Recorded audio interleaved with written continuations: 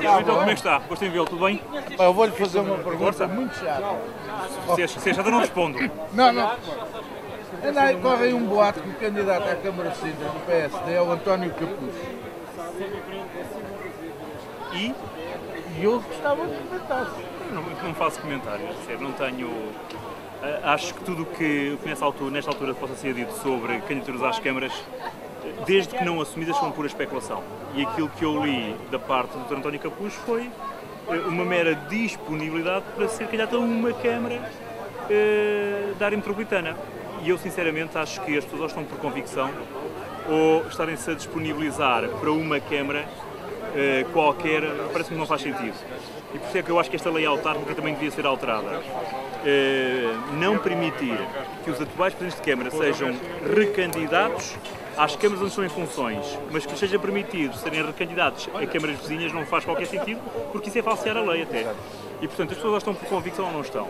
Eh, Eu tenho dito que, da minha parte, tenho disponibilidade para ser candidato à Câmara de Sintra e não a outra qualquer. É aqui que me revejo, é aqui que tenho a minha vida, é aqui que faço o meu trabalho e portanto é com estas pessoas que eu me identifico.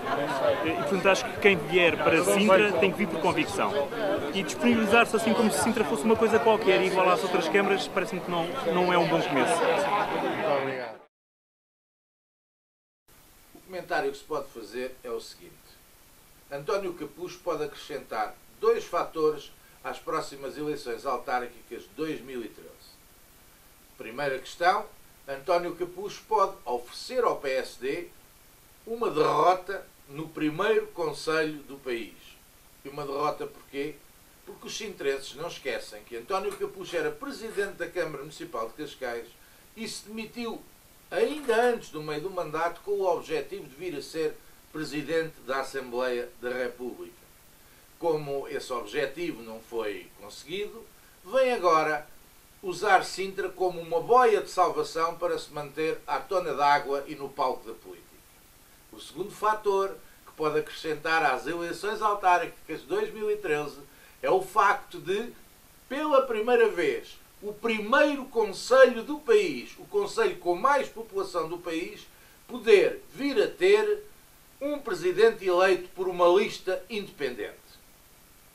Marco Almeida, na minha opinião, vale mais concorrendo independente do que concorrendo no PSD. E porquê? Porque com a austeridade e com a crise, muita gente não irá votar no PSD e irá castigar Marco Almeida indiretamente. Como independente, será seguramente o próximo presidente do Conselho de Sintra, da Câmara Municipal de Sintra. Aliás, é lógico, de vice-presidente a presidente. Isso é lógico.